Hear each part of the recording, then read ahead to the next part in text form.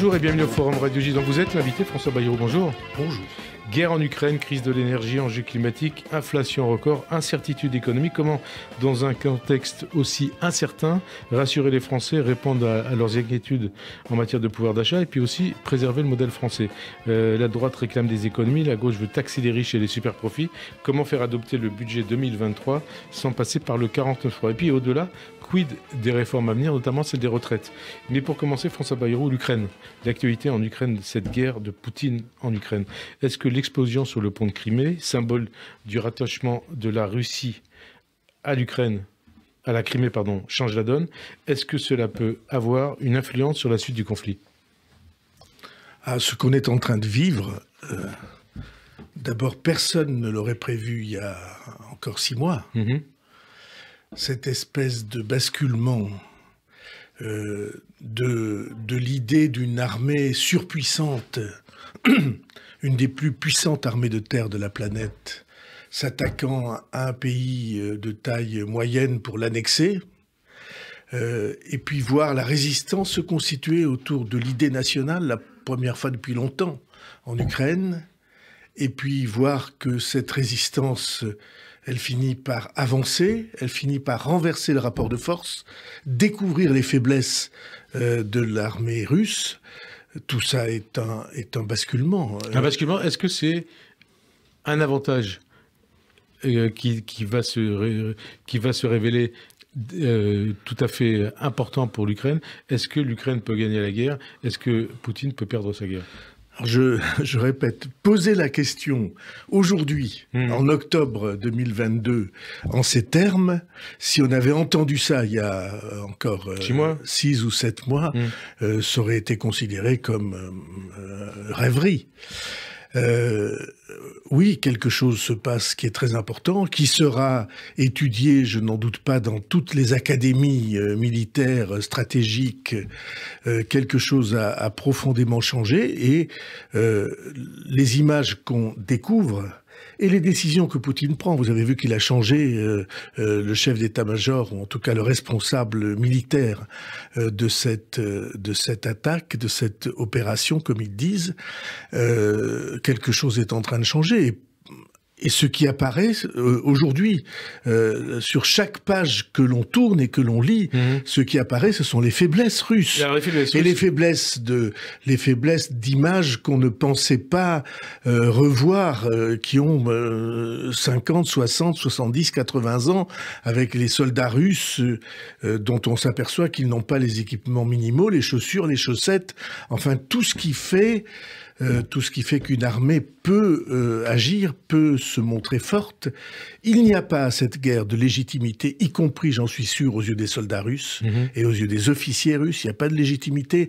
En revanche, et aux yeux des parents qui perdent leurs enfants. Hein. Bien sûr. Et en, en revanche, c'est constituer cette armée, euh, le patriotisme ukrainien et la volonté ukrainienne de euh, retrouver la souveraineté. Alors deux trois questions toujours sur le sur l'Ukraine, sur la guerre d'Ukraine. Est-ce qu'il faut prendre au sérieux les menaces nucléaires de Poutine? Est-ce que pour vous, Poutine c'est un barbare, un dictateur, quelqu'un avec qui il faut négocier ou quelqu'un qu'il faut mettre au banc des nations Est-ce que c'est un régime qu'il faut contribuer à faire tomber? Alors, est-ce qu'il faut prendre au sérieux les menaces de Poutine? Oui, il faut prendre au sérieux les menaces. Mhm. On a vu à quel point Poutine, en articulant des menaces contre la souveraineté ukrainienne, alors que de, des esprits nombreux disaient jamais il n'attaquera. Vous n'y mmh. vous, vous, n'y pensez pas, ça n'est même pas envisageable. Et vous voyez les visages en France, y compris de ceux, hein. de ceux dans le débat. Non, euh, jamais. Ça, je puis attester mmh. que jamais le président de la République n'a pensé qu'il n'attaquerait pas. Il a toujours pensé que c'était un, risque, mais vous connaissez les leaders euh, nombreux euh, On de, va en parler de, Mélenchon à Zemmour qui ont annoncé Urbi et Orbi. Euh, qu'il n'y aurait euh, aucune attaque, que ça n'était même pas envisageable, que c'était de la propagande américaine. Est-ce que, eh, donc, menace, il faut prendre les est-ce qu'il faut contribuer à faire tomber le régime de Poutine? l'Europe et la France ne vont pas s'immiscer dans les affaires intérieures de la Russie. Hmm. Mais vous voyez bien qu'un tyran qui déclenche une guerre pour conquérir le pays voisin et qui se fait repousser, et non seulement repousser, mais à bien des égards humilié, euh, à bien des égards humilié dans cette euh, confrontation, celui-là se retrouve extrêmement fragile aux yeux de ses propres partisans. Et c'est toujours de l'intérieur que viennent les déstabilisations, c'est pas de l'extérieur. Hmm. Je pense que euh, une euh, affirmer euh, qu'on devrait envisager des opérations extérieures, ce serait une très grave imprudence contre-productive, y compris pour tous ceux en Russie qui se disent que Poutine, ça n'est pas l'avenir de la Russie et qu'il les a entraînés dans une aventure qu'ils vont payer très très cher. Le prix Nobel de la paix pour ces trois organisations pour la paix, c'est un signe. Poutine, pour les droits de l'homme. Hein non, mais c'est un signe. Euh, vous parlez de la France. Euh, en France, le, camp pro-Poutine ne faiblit pas, à l'extrême droite, mais aussi à LFI, à travers une position à la géométrie variable de, Jean-Luc Mélenchon, un jour qui accuse l'OTAN, un autre jour euh, Poutine, et puis le suivant Zelensky. Puis il y a aussi Ségolène Royal, que vous connaissez bien, qui a mis en doute certains crimes de guerre de la Russie en Ukraine. Qu'est-ce que ça vous inspire? Est-ce qu'il y a une cinquième colonne pro-Poutine en France? Oh, Je ne dirais pas les choses comme ça. Il y a traditionnellement en France une euh, vision historiquement fondée euh, et que je ne rejette pas, qui est de dire que la Russie est un partenaire de l'Union européenne. Mhm. Et la Russie est pour la France un partenaire historique. Nous avons, avec la Russie, partagé bien des enjeux historiques au travers du millénaire qui mhm. vient de mhm. s'écouler. Donc, bien sûr que la Russie est, à bien des égards, européenne. Et bien sûr qu'un jour, euh, on peut espérer que euh, de nouvelles autorités russes seront pour euh, les autorités européennes et singulièrement pour les autorités françaises des partenaires avec qui on pourra faire quelque chose. C'est De Gaulle qui parlait de l'Atlantique à l'oral. Hein. Confondre cette euh, ce destin historique et cette obligation de, respect des liens historiques avec Poutine, alors c'est ne pas comprendre et ne pas voir que Poutine est un dévoiement. Euh, que Poutine est pour la Russie, aura été pour la Russie ces dernières années un malheur épouvantable parce que tout d'un coup, euh, à la fois, il a révélé les faiblesses et il a mis son pays dans une situation d'extrême fragilité, ce qui est le lot des tyrans assez souvent quand, euh, ou le plus souvent, ou même toujours euh, lorsqu'ils sont entraînés par ce que les Grecs appelaient hubris, c'est-à-dire euh, ne plus voir la réalité et ne plus imaginer le monde qu'au travers de sa propre gloire. Peut-être hubris aussi en Iran. Quel regard vous portez sur la situation en Iran, sur ces femmes qui, au péril de leur vie, se révoltent contre le port du voile et contre le régime islamiste? Je trouve qu'il y a peu d'images aussi émouvantes, aussi significatives que celle que nous découvrons avec euh, cette révolte des jeunes femmes qui brandissent leur voile euh, enlevé comme un étendard de liberté. je trouve que nous sommes profondément impliqués avec elles. Et s'agissant des femmes iraniennes, je n'oublie pas non plus les femmes afghanes qui, elles, sont encore dans leur prison. Les femmes, les jeunes femmes les jeunes filles et les petites filles qui sont empêchées de sortir, de faire des études mmh. par des régimes euh, fanatiques et dont le fanatisme est barbare. Euh, Vous parlez aussi bien de l'Iran que de l'Afghanistan et que d'autres pays d'ailleurs. Hein. Oui, je parle. Oui, mais enfin, ces deux pays-là sont aujourd'hui en première ligne. Mmh. Euh, et, euh, et, les femmes iraniennes nous donne une leçon de courage incroyable parce qu'elles sortent en sachant qu'on peut les tuer, en mhm. sachant que le régime peut les tuer. Mais elles disent, si on sort assez nombreuses, le régime ne sera pas assez fort pour nous tuer toutes. Et alors, quand vous constatez qu'en Iran, ces femmes se battent jusqu'à en payer de leur vie pour avoir le droit de, pas, de ne pas porter le voile, et qu'en France, le port du voile est devenu une revendication des islamistes, mais aussi d'un certain nombre de militantes féministes, voire de partis de gauche. Qu'est-ce que ça vous inspire? Vous savez, c'est c'est moi qui ai euh, interdit euh, le, le, voile à l'école. Quand vous étiez ministre de l'Éducation nationale. Et, euh, et j'ai absolument le souvenir des polémiques qu'il y a eu sur ce sujet. Simplement, vous voyez, bien, hein. vous voyez, bien, de, de quoi ça, c'est 1994. Hmm. Euh, vous voyez bien de quoi il s'agissait. C'était euh, euh, un, un, étendard pour affirmer que la loi de la religion était plus importante que la loi du pays. Et, et on a réussi. C'est drôle d'ailleurs parce que une des jeunes femmes qui m'a aidé à, euh, à, être médiatrice sur ces histoires de voile, c'est Rachida Dati. C'était la première euh, responsabilité euh, qu'elle assumait. Elle le rappelle toujours d'ailleurs mmh. avec émotion. et donc cette, cette, ce combat-là entre euh, ceux qui veulent que la loi de la religion soit plus importante que toutes les autres lois, mmh. et ceux qui, au contraire, défendent, notamment à l'école, la loi, euh, la loi, euh, des, la loi des institutions et les valeurs de la République supérieures à, à toute autre valeur qu'on peut personnellement adopter. Euh, évidemment, euh, c'est euh, aujourd'hui d'actualité aussi. Et voir le combat des femmes en Iran, je suis persuadé que ça, ça trouble profondément un certain nombre de celles qui sont engagées dans ce, dans ce dilemme-là. Puisque vous parlez de ce qui se passe à l'école, on va préciser les choses. Il y a une, énième offensive des mouvements fréristes et salafistes pour déstabiliser l'école publique en incitant les élèves, via les réseaux sociaux notamment, à porter des vêtements religieux, à imposer euh, un certain nombre de pratiques culturelles au sein des établissements scolaires, prières, jeunes, collectifs, chantage envers les élèves considérés comme non conformes. Justement, vous avez été ministre de l'Éducation nationale, vous avez aussi été professeur. Oui. Euh, est-ce qu'il faut prendre cette offensive au sérieux et comment il faut, il faut y répondre? Alors, je, il faut faire très attention à ne pas créer des problèmes hmm. en affirmant qu'on va les résoudre. Ouais. Hein, il faut les constater en tout cas. Euh, l'ouverture hmm. euh, de, de fronts successifs, hmm. c'est aussi une manière de constamment crisper les rapports.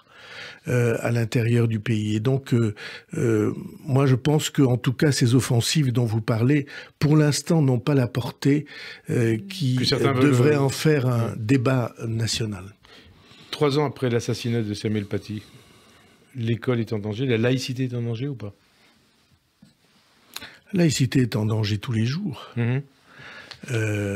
et, le, et, le, drame qu'on a vécu avec l'assassinat de Samuel Paty et le, et ce qu'a été l'émotion intense, la vague d'émotion de la nation, euh, y compris avec le très beau discours du président de la République, tout ça, euh, tout ça a contribué à faire un barrage de plus aux attaques contre la laïcité. Hmm.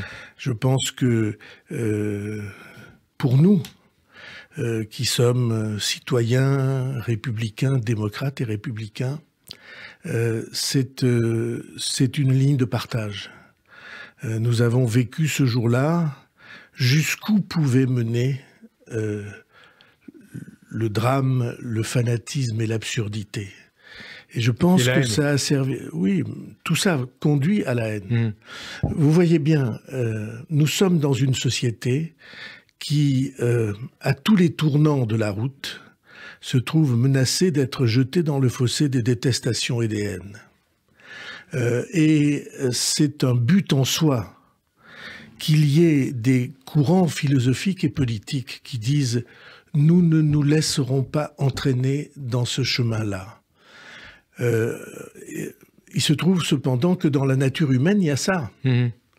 Et donc la vigilance armée, moralement armée, le réarmement moral en face de ce genre de risque et de pente euh, est quelque chose dont nous avons, vous et nous, euh, comme citoyens, la responsabilité.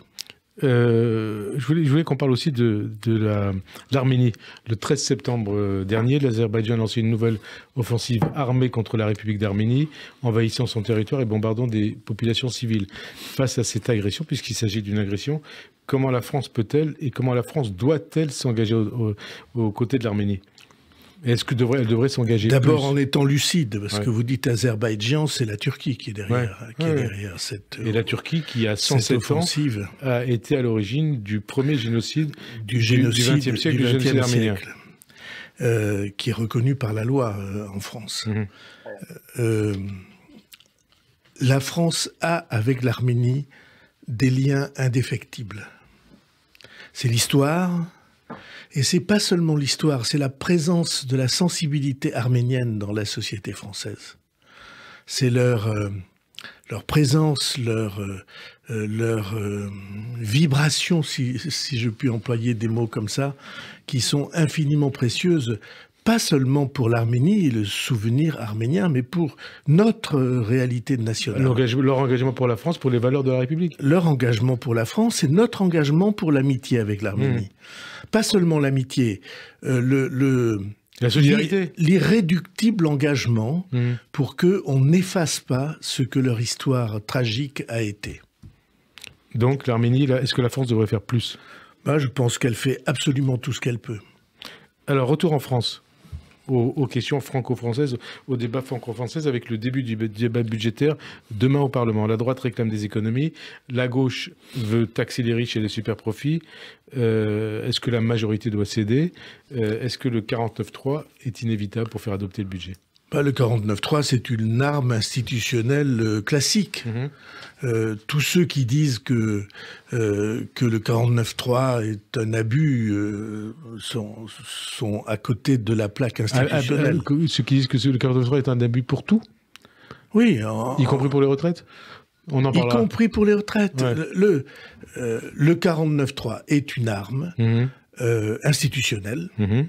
Euh, que les gouvernements ont à leur disposition lorsqu'ils n'ont pas de majorité euh, et qu'ils savent cependant que dans les oppositions, il n'y aura pas d'accord pour renverser le gouvernement.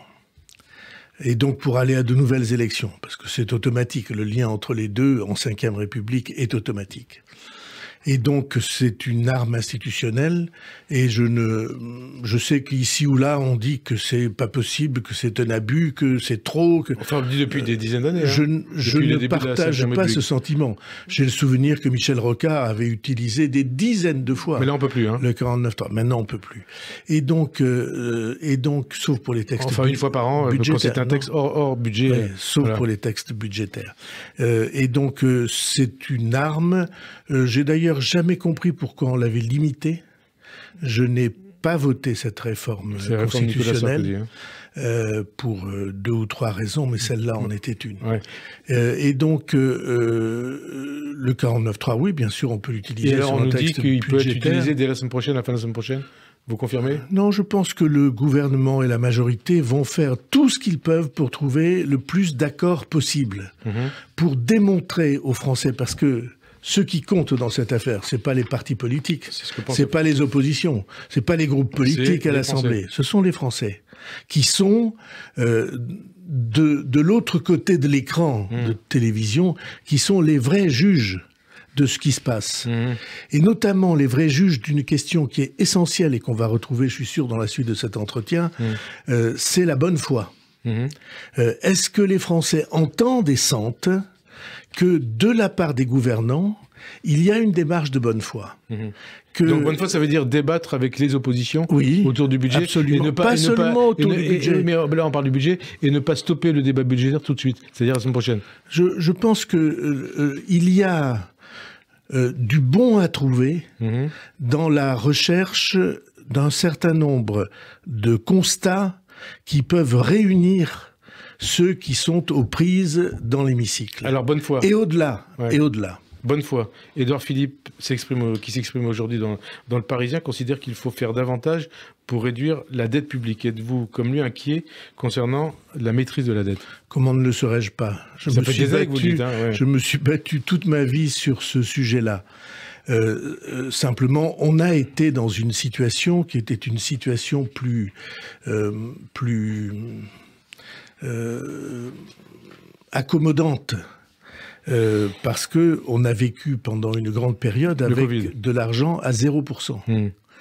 et avec euh, l'injonction de sauver les familles, les entreprises, notre économie et notre vie sociale, parce que le Covid pouvait tout d'un coup nous plonger dans une crise euh, euh, énorme. Et là, les taux d'intérêt augmentent. Hein. Et là, hélas, nous sommes entrés dans une période d'inflation, et on a oublié en France depuis très longtemps ce que l'inflation pouvait être. Mhm. On l'a oublié depuis le milieu des années 70. Euh, et on découvre aujourd'hui à quel point l'inflation. Depuis les années Giscard. Euh, à quel point, oui. Mmh. Euh, à quel point l'inflation est une course en avant qui fait une surenchère perpétuelle.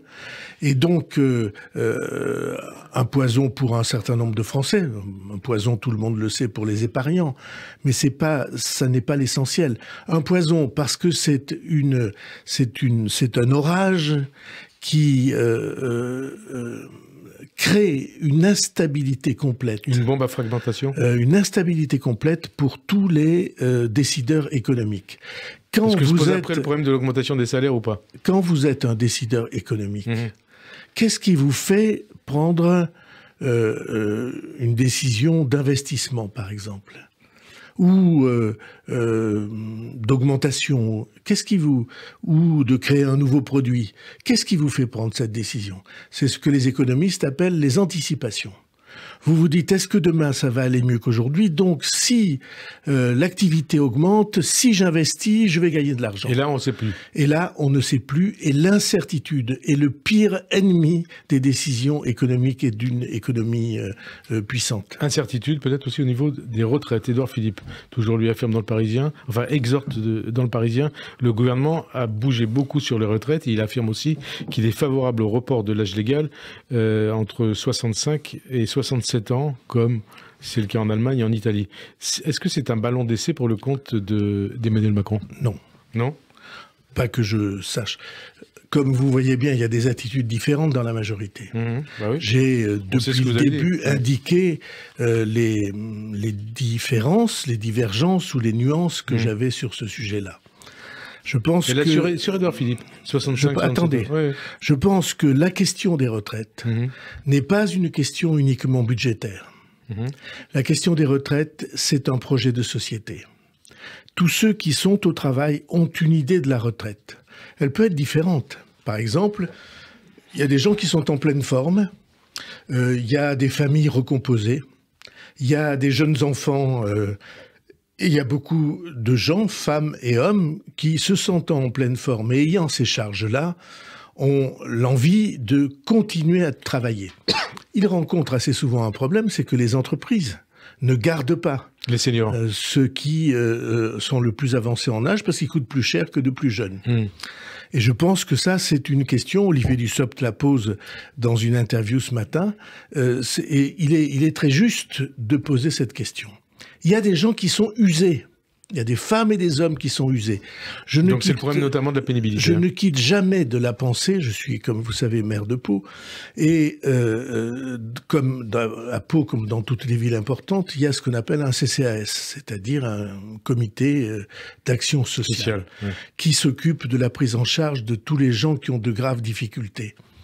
Je sais ce que c'est la vie de ces j'allais dire, de ces femmes et de ces hommes, c'est plus souvent des femmes, de ces femmes qui, qui ont la charge du soin à ceux qui sont dépendants, grabataires, qu'il faut lever, c'est très... Ce sont des personnes assez souvent lourdes pour des constitutions frêles de la part de celles qui les, qui les aident. Et donc... Moi, je ne crois pas qu'on puisse mettre une norme unique sur des situations différentes. Donc, je pense qu'il ça veut dire je pense qu'il est très important. Je pense qu'il est très important de mettre sur la question des retraites naturellement une incitation à travailler plus longtemps. Mhm. Incitation et des incitations favorables, positives, euh, euh, ressenties comme des bonus, par exemple sur la... Bah oui, je, je pense, j'ai avancé l'idée, euh, vous savez ça, que on pourrait encourager les gens à travailler plus longtemps euh, si on leur donnait, euh, pendant qu'ils travaillent, les dernières, les années qu'ils décident de prolonger, si on leur donnait ou si on leur versait une partie de leur retraite, 10% par exemple, de la retraite ou 15%, ça pourrait changer beaucoup de choses, parce que là, le travail serait récompensé. Mais il faut changer la psychologie des entreprises. Il faut considérer que ça n'est pas parce que quelqu'un a euh, plus de 60 euh, ans, mettons, qu'il est une charge. Mmh. Parce que ça n'est pas vrai. Ça, peut être un atout. ça devrait être un atout, et en particulier pour cette question de la transmission. Ouais. Euh, de la transmission des savoir-faire, de la transmission de l'état d'esprit et, un lien entre, entre les générations. Je reviens à ce que je vous, la question que je vous posais au, au préalable. Édouard Philippe, en parlant de départ à la retraite de 65 à 67 ans, est-ce qu'il met de l'huile sur le feu euh, Est-ce qu'il met la réforme en danger, comme euh, ça avait été le cas en 2020 quand il était Premier ministre? C'est sa conviction, donc euh, moi je... je est-ce qu'il met de l'huile sur le feu? Je ne partage pas cette idée mmh. que le seul avenir des retraites, ça soit de porter l'âge légal de départ à la retraite à 67 ans. Je ne le crois pas. Mmh. Même si Édouard Philippe dit mais les Allemands l'ont fait ou les, Italiens l'ont fait. Encore faudrait-il vérifier ce qu'est la réalité euh, euh, sociale que ces décisions ont fait, ont fait prendre. Mais euh, moi, je pense au contraire que plus on met de souplesse, à condition d'obtenir l'objectif du plus grand nombre de seniors au travail, c'est-à-dire d'un allongement réel du temps de travail moyen, plus on met de souplesse et mieux c'est. Et moins c'est rejeté. Parce que chacun, tout d'un coup, euh, ne, euh, se sent euh, libre par rapport à ce qu'autrement il pourrait ressentir comme une contrainte excessive. Vous disiez il y a quelques instants, c'est pas un ballon d'essai pour le compte d'Emmanuel Macron. J'en ai la conviction. Vous avez la conviction, il, il, peut vous l'a peut-être dit, enfin ce, qu'il conçoit, que, comment il conçoit la réforme des retraites, je suppose.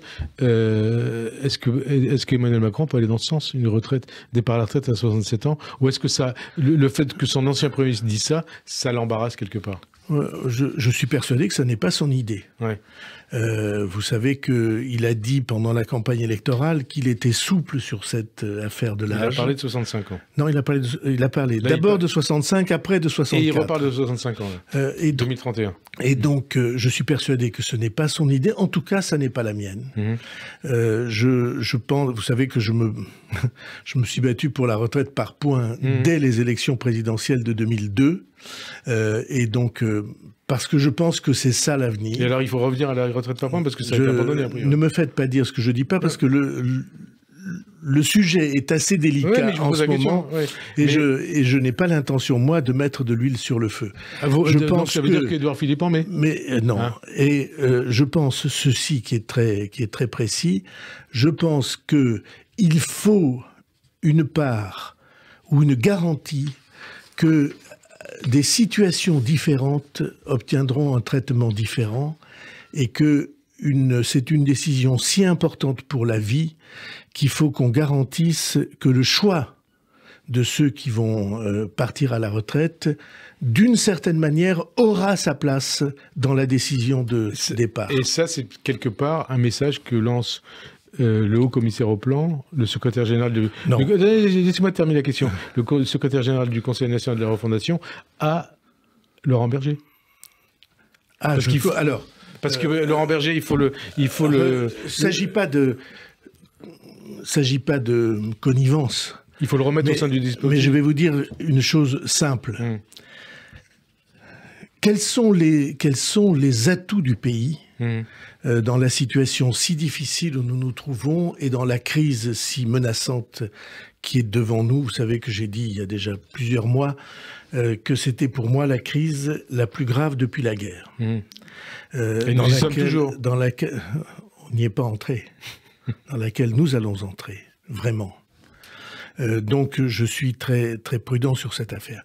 Quels sont les atouts que la société française a en son sein? Pour moi, l'atout principal, c'est le grand courant réformiste du pays. Donc, notamment C'est-à-dire ceux qui, dans le monde politique, dans le monde syndical, dans le monde associatif, considèrent que ça n'est pas la violence, que ça n'est pas le renversement de nos cadres de vie qui sont la solution pour l'avenir tous ceux qui pensent qu'il faut faire évoluer les choses dans le sens de plus de d'attention euh, aux difficultés et dans le sens de plus d'ambition pour euh, produire, pour imaginer, pour former, pour éduquer, Euh, c'est ceux-là qui sont les vrais alliés euh, de la société française et des plus fragiles dans la société française. Et, dans ces courants-là, il y a évidemment le syndicalisme réformiste, il y a les courants politiques réformistes, il y a les courants associatifs réformistes. Et Laurent Berger, il peut être raccroché à cette réforme ou pas?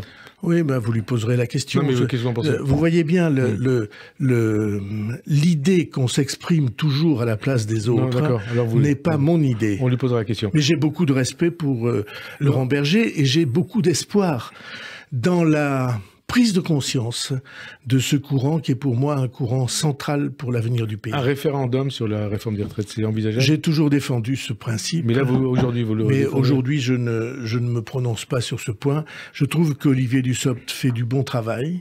Euh, et euh, je, je voudrais simplement dire une chose, si vous permettez. Oui. Comme vous savez, je me suis beaucoup battu pour qu'on ait cette période de concertation. Ça vous suffit de deux mois de concertation Trois. Trois. Octobre, novembre, vous demandiez quatre, donc c'est... Oh, octobre, novembre, décembre. Euh, et, euh, et, donc, euh, je, je, je crois beaucoup à la nécessité de prendre le temps de préciser, et notamment aux yeux de l'opinion publique, les raisons qui rendent indispensable la réforme des retraites. Alors au départ... Alors attendez, j'ai pas tout à fait fini. Euh, je pense qu'une grande partie des Français a à l'esprit qu'il faut une réforme des retraites. Ils ne mhm. savent pas très bien pourquoi, sauf qu'ils voient bien autour d'eux qu'il y a un vieillissement, euh, un allongement de la durée de la vie et de la durée de la vie en bonne santé, et que cet allongement, il entraîne une chose, c'est que la charge des pensions de retraite, elle pèse sur ceux qui travaillent. C'est ça la retraite par répartition, c'est-à-dire euh, euh, tous ceux qui sont au travail payent la pension de ceux qui sont en retraite. Or, comme il y a de plus en plus de gens à la retraite et de moins en moins de gens au travail, comme l'espérance de vie augmente, hein. euh, proportionnellement, hmm. évidemment, les Français pensent que oui, c'est raisonnable. Mais personne ne donne jamais les chiffres. Mhm. Personne ne donne jamais des faits établis qu'on pose sur la table. Y compris le corps Et qu'on soumette à la mm. discussion. Bah, le corps, euh, euh, qui est une instance sûrement de bonne foi, ils sont assez évolutifs dans leur... Euh, mm. C'est le moins qu'on en puisse dire. Dans tous les ans, il, jugement. il faut qu'on avance. mais il faut qu'on avance et je vous encourage à réfléchir à ça. Il faut avancer non pas seulement dans les négociations entre organisation et gouvernement, il faut avancer dans la prise de conscience de l'opinion publique. Et c'est pour moi probablement l'enjeu le plus important de ces trois mois de concertation. On, vous a senti isolé au sein de la majorité quand vous avez mis en garde justement contre un passage en force de la réforme des retraites notamment euh, via le PLFSS et le 49.3. Un projet de loi en bonne et due forme sera finalement présenté début 2023 afin de laisser du temps à la concertation. Excusez-moi, est-ce que euh, est-ce qu'on peut corriger votre affirmation? Vous dites on vous a senti isolé, mais c'est ma thèse qui a été oui, oui. Euh, Alors justement, mais vous m'avez pas entendu la fin de la question. Est-ce que vous considérez euh, que vous avez gagné la partie? Non, hein? Je ne je ne je place jamais les choses dans dans des questions de rapport de force mmh. et, euh, et, de bras de fer. Mmh. Euh, je, lorsque je considère qu'un problème est essentiel, je m'exprime publiquement pour que puisse se constituer euh, une réflexion commune. Euh, je suis radicalement, je ne sais pas comment on peut dire, euh, euh, attaché a une idée simple, c'est que nous sommes co-responsables de l'avenir. J'ai jamais pensé ou jamais accepté l'idée qu'il y avait des gens qui étaient au pouvoir, que c'était eux qui étaient les patrons et les responsables, et que de notre côté, il y avait euh, des Français qui, sont qui seraient en fait des sujets. Mmh. J'ai jamais accepté cette idée. Mmh. L'idée qui est la mienne, c'est que nous sommes tous citoyens, c'est-à-dire tous responsables de l'avenir que nous soyons dans la majorité, dans l'opposition, ou ne sachant pas très bien si on est euh, où on se trouve dans ces affrontements-là, nous sommes co-responsables.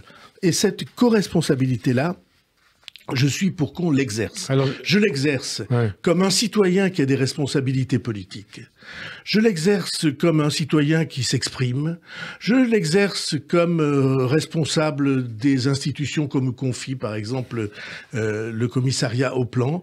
Je l'exerce quand on me demande de, de euh, enfin d'être de ceux qui animent euh, le Conseil de la refondation. De la mm. refondation. Mm. Euh, je les exerce sous toutes les manières et comme élu local. Ouais. Alors il faut que je vous... il reste pas beaucoup de temps, il reste une dizaine de minutes, plein de questions. Donc j'essaie de vous poser des questions courtes et Essayez de faire des réponses courtes. Euh, on je ne suis pas très doué. Si, si, vous êtes doué. et peut-être je, je préfère des réponses un peu plus longues. Non, non, mais pas moi. Il y a plein de choses à vous demander. Mais comme c'est moi qui réponds, c'est Oui, d'accord. Alors, on a, on a parlé de Laurent Berger à l'instant. Euh, le leader de la CFDT, donc Laurent Berger, désapprouve la grève, dit-il, préventive, euh, lancée par la CGT dans les raffineries. Euh, si les grèves se poursuivaient dans les raffineries, notamment chez Total et ExxonMobil, est-ce qu'il faudra envisager le retour à la force publique et est-ce qu'il faudrait envisager le recours à les réquisitions pour éviter une pénurie de carburant Alors je crois qu'il y a une très grande émotion chez les Français mhm. et que c'est une émotion qui grandit. Mhm. Avoir euh, des euh, salariés d'entreprises qui par ailleurs sont en très bonne santé mhm. financière, euh, user de cette épreuve de, de la grève, comme vous dites, préventive, c'est Laurent Berger qui pour obtenir des avantages sociaux. Euh, le pays est en suffisamment grande difficulté pour que chacun euh, fasse face à ses responsabilités. Et donc, que chacun réfléchisse en conscience et si ça n'était pas le cas, si on était devant des situations d'irresponsabilité, mmh. alors le gouvernement serait fondé à prendre les mesures plus euh, drastiques que vous avez évoquées. la force publique, réquisition Réquisition, par exemple. D'ici combien de temps? Il faut attendre On a combien de temps Le gouvernement a combien de temps Ce qui est bien, c'est que, c'est que quand on est journaliste, on peut poser des questions, même quand, et quand on est politique, on est absurde d'y répondre. Hein Mais bon, c'est une question de jour. Oui. Hein une question de jour. Euh, Jean-Luc Mélenchon, il appelle à une grande marche contre la vie chère dimanche prochain, 16 octobre, et puis il a comparé sa marche, sa marche avec la Révolution française. Je cite son tweet de jeudi dernier. Le 5 et 6 octobre 1789, les femmes marchent sur Versailles contre la vie chère. Elles ramènent le roi, la reine et le dauphin de force à Paris sous contrôle populaire. Faites mieux le 16 octobre. Euh, en gros, c'est un appel à la violence à couper des têtes euh, C'est dangereux, c'est séditieux. Tout ce qui, dans le pays aujourd'hui, pousse à la radicalisation, à la violence, à la mise en accusation, à euh, l'injure, euh, y compris à des violences physiques, tout cela, pour moi, est contraire à l'intérêt national. Mélenchon il devient factieux, séditieux? Non, je ne veux pas utiliser des mots de cet ordre. C'est un appel à la violence qu'il fait ou pas? Vous voyez bien de quoi il s'agit.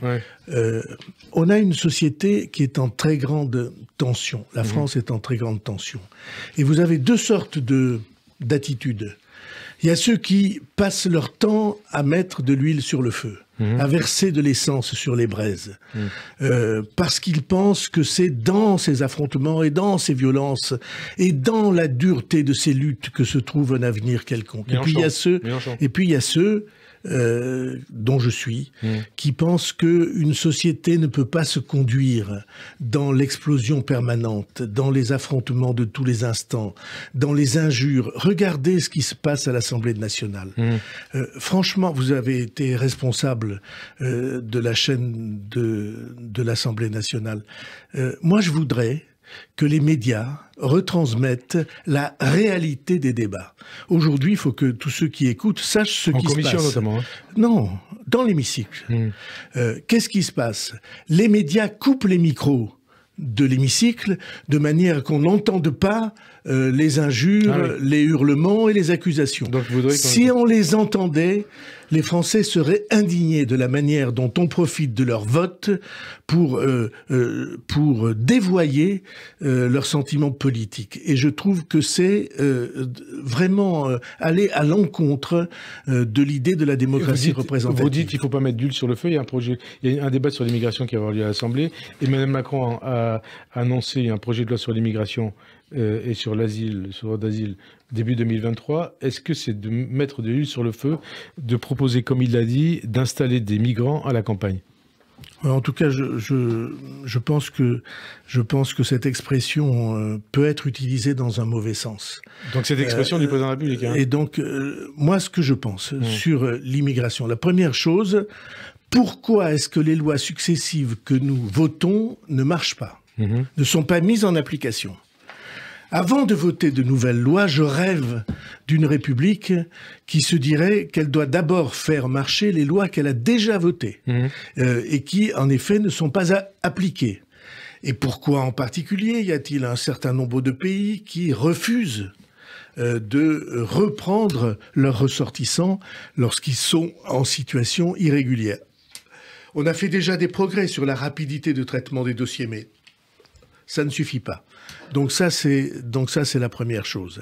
Deuxièmement, la question qui au fond est derrière ces affirmations, c'est la question de l'intégration. Mhm. Et pour moi, la question de l'intégration, elle se pose euh, très précisément sur deux sujets.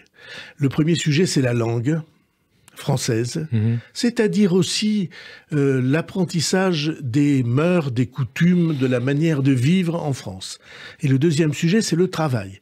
Alors, il est tout à fait exact qu'à la campagne, il y a énormément d'entreprises, par exemple agricoles, qui, cherchent de la main-d'œuvre, qui parfois la trouvent hmm. chez, des, euh, chez des personnes qui viennent de l'étranger, notamment d'Espagne, et qui ne réussissent pas à avoir les papiers et qui ne réussissent pas à avoir les modes de transport qui leur permettent de euh, se déplacer pour venir travailler à la campagne, comme, hmm. comme ils disent. Ça, c'est vrai.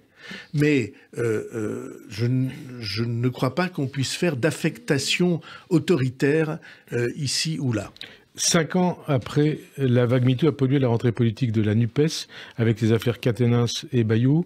Et justement, est-ce que désormais, l'ex-secrétaire et justement, justement, est-ce que désormais l'ex-secrétaire national des Verts, Julien Bayou, a raison de dire à Sandrine Rousseau, à l'origine de la médiatisation de son affaire, qu'il ne faut pas confondre féminisme et macartisme?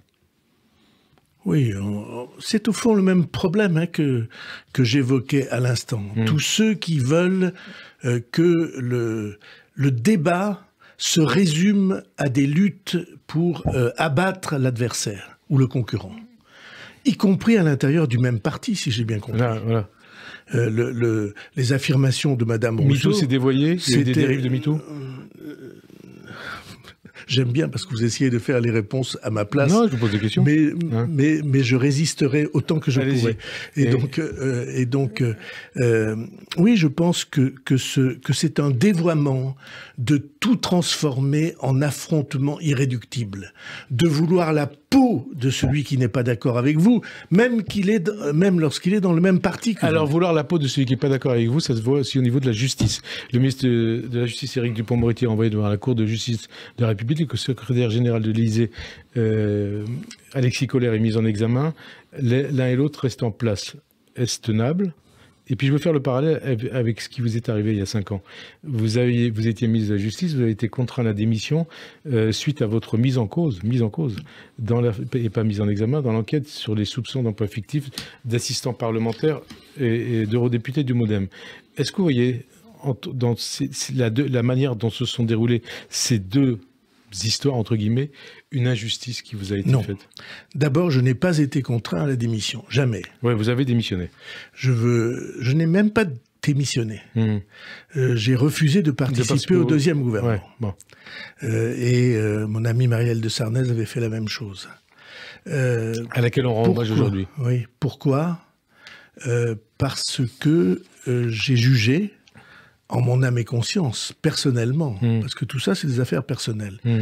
J'ai jugé que je ne pouvais pas exercer mes fonctions dans la sérénité nécessaire s'il y avait contre nous euh, des accusations aussi euh, euh, scandaleuses et fausses. Est-ce qu'Éric Dupond-Moretti devrait faire comme vous Il apparaîtra qu'elles sont fausses. Est-ce qu'Éric Dupond-Moretti devrait faire comme vous? La situation n'est pas du tout la même. Hmm. J'avais fait toute, euh, enfin, une grande partie de, mon engagement politique sur le thème de la moralisation de la vie publique. Il y avait besoin. Euh, et j'en étais chargé. Et vous voyez à quel point c'était invivable hmm. que vous soyez chargé de la moralisation et qu'on vous attaque euh, précisément en vous imputant euh, des, des, attitudes. Au-delà de ça, au-delà de ça. Et des réalités au-delà de qui étaient le contraire. La justice est une autorité, pas un pouvoir. Je ne laisserai pas la justice devenir un pouvoir cédé. Emmanuel Macron qui a déclaré ça le 13 juillet 2021 au Conseil des ministres après la mise en examen d'Éric Dupond-Moretti. Est-ce que vous faites partie de ceux qui considèrent que les magistrats oublient un peu trop que leur rôle n'est pas d'être un pouvoir, mais voire un contre-pouvoir Et est-ce que vous faites partie de ceux qui considèrent que les magistrats règlent un peu trop leur compte avec les politiques? Euh, Qu'il y ait des affrontements entre la magistrature et le pouvoir, ça dure en France depuis des siècles. Mhm. Euh, et ça a été la cause ou une des causes de l'effondrement euh, de la monarchie, de mhm. l'ancien régime. Donc c'est pas tout à fait neuf. Mais euh, Mitterrand disait euh, faites attention parce que ce type d'affrontement a causé la mort de la monarchie, ça causera la mort de la République, disait-il. Je l'ai entendu de mes propres oreilles dire ça. Euh, ma, ma vision n'est pas exactement la même. je vais vous dire la, mienne. pourquoi est-ce que je pense que c'est une autorité et pas un pouvoir? Parce qu'un pouvoir, ça doit être élu. Mmh. La légitimité d'un pouvoir, c'est ce que vous confient les citoyens. Il se trouve que les magistrats ne sont pas élus, euh, qu'ils ont un fonctionnement interne, et que donc ils ne peuvent pas être un pouvoir, ou alors on décide par exemple de faire élire le procureur général de la nation. Mais ça, ça n'est pas la situation. Et cette différence entre élu d'un côté et chargé d'une autorité de l'autre, elle est fondamentale. Il nous reste une minute et deux questions. D'abord, où en est votre parcours judiciaire dans l'affaire dans laquelle vous avez été mis Comme vous l'avez dit, ça fait plus de cinq ans, et je répète que tout ceci est faux. Tout ceci est faux. Dernière question. Euh, beaucoup pensent déjà à 2027, au sein même de la majorité, comme Édouard Philippe, Bruno Le Maire ou, ou Gérald Darmanin. On dit que vous aussi, vous y pensez. 76 ans, vous aurez 76 ans en 2027. Est-ce que c'est un bon âge pour être candidat et pour être président? Alors, vous êtes drôle parce que c'est ce, genre, ce, hein genre hein de, ce genre de rumeurs-là euh, euh, émaille constamment le débat. C'est très simple. Je suis, et vous aussi, un citoyen de plein exercice. Hmm. Est-ce que j'ai jamais renoncé à exercer cette citoyenneté? Non.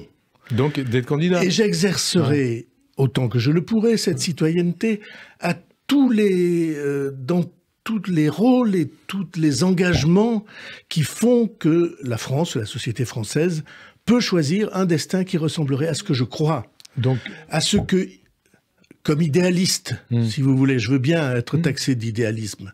Comme idéaliste, je crois je crois que la France va mal, je crois qu'elle pourrait aller très bien. Hmm. Et donc je ferai tout ce que je peux dans toutes les échéances. Donc y compris être candidat à la présidentielle de 2027 nécessaires. Y compris d'être candidat à la présidentielle 2027. Qu'est-ce que vous voulez que je vous dise bah, euh, vous, pensez, vous, que les élections présidentielles auront lieu en 2027 On n'en sait rien. Ah, vous la on, sait pas, on ne sait pas ce qui peut se passer. Ah si vous voyez aujourd'hui l'incroyable le, difficulté des temps, et si vous pensez qu'un zozo quelconque peut dire euh, cinq ans à l'avance ce qui va se passer, alors ne vous trompez pas, tout ça c'est euh, des charlatans. Vous êtes prêt quoi? J'ai toujours été prêt. Hein j'ai déjà été candidat trois fois. Qu'est-ce que vous me racontez? Donc, Bayrou, hein candidat et président, pourquoi pas? Euh, vous voyez bien ce que vous cherchez. Mitterrand, a succédé à un jeune président, vous pouvez succéder à un jeune président. Ça peut tout à fait arriver, mais ça n'est pas ça la question. Hmm.